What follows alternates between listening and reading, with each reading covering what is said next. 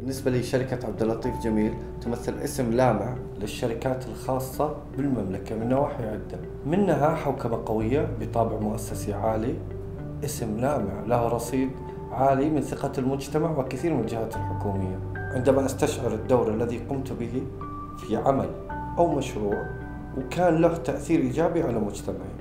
مو سهل تحديد آه، الإنجازات الفردية لأننا نعمل كفريق واحد وأي نجاح يحصد فإنه نتيجة العمل المشترك. لكن لعل أفضل إنجاز قمنا به كفريق هو توقيع أول اتفاقية شراكة مع أحد الشركات السويسرية الرائدة في مجال الخدمات.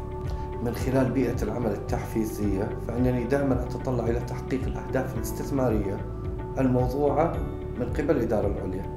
فريق عمل يتمتع بخبرات عالية وأخلاق مهنية رفيعة واستراتيجية استثمار واضحة وعمل جاد لتحقيق أهدافها من أكثر الشركات نشاطا من حيث تأسيس وتشغيل شركات رائدة بمحتوى محلي عالي.